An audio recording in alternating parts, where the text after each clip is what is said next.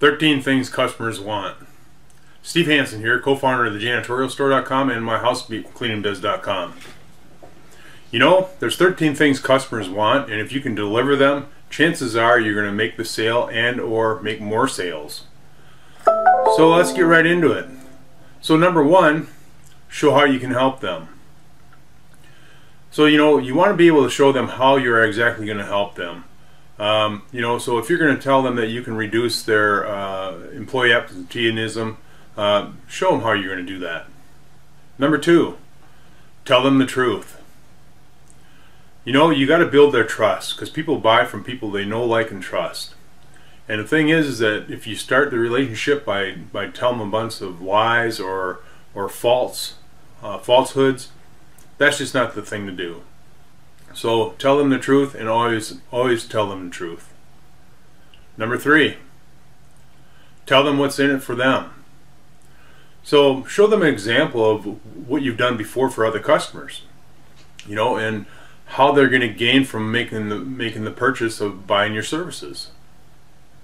You know, then go ahead number four, prove it prove it beyond a shadow of a doubt. So and what I mean by that is, you know, show them testimonials of other customers like them that have uh, purchased your services and are just totally thrilled that they made that decision. Number five, help them buy, don't sell them. You know, and that's the thing is that people, they like to buy, but they don't like to be sold. So remember that. Don't push them into something that they're that they don't want. You know, help them make the choice. Number six, Paint them a picture that they can see in their mind's eye. And that's very important now. So, you know, paint that picture that, you know, when they're using your service, how, uh, how they're going to feel, uh, how it's going to make their life easier. It's going to re uh, remove stress, uh, and so on and so forth. So help paint that picture in their mind's eye. Number seven, make them feel special. You know, so what you want to do there is just you know talk about their wisdom of their choice. You know make them feel that they're that they are special. Treat them different you know? Uh, so you know you probably want to thank them personally with with mail you know with snail mail. Uh, and do something that really makes them remember you. I've often had people say you know nobody's ever asked me that question before.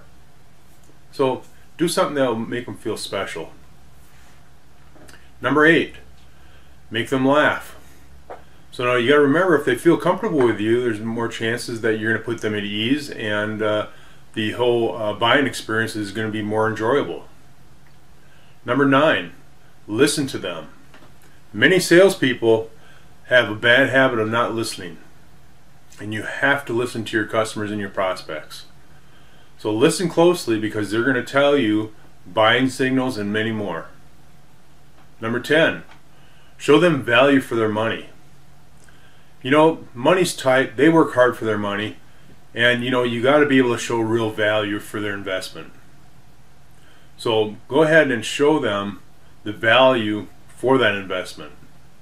Don't talk about the features, talk about the benefits.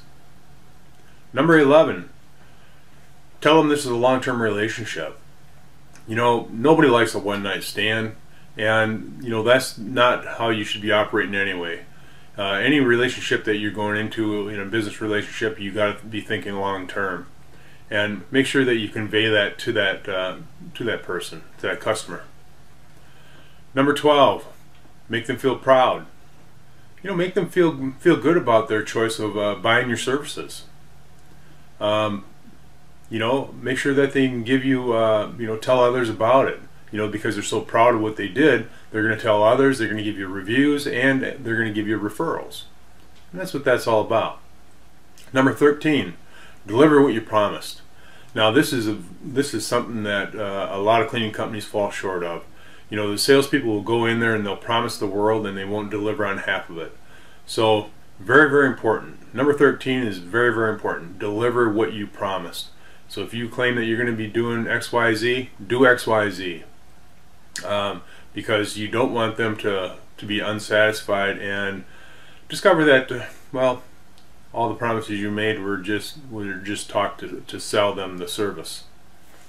So remember that. Well, that's all I have for now. So if you like the information in this video, go ahead and click the like button and the share button. And if you haven't already, go ahead and subscribe to our YouTube channel. Uh, we have a wealth of uh, uh, videos on, on our channel and many more to come. So uh, until then, see ya.